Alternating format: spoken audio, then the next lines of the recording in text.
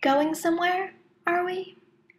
I would die thrice over for darkness. It is an honor to give my life to his gain. We must think about this logically. There's no point in panicking. You know I would die defending any one of you under my protection, but I cannot interfere. This is a matter that I am not supposed to play a part in.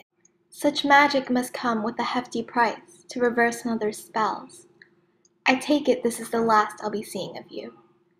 Your latest scheme amuses me, Emily, but I'm sorry to disappoint you. I have no intention of being held anywhere again.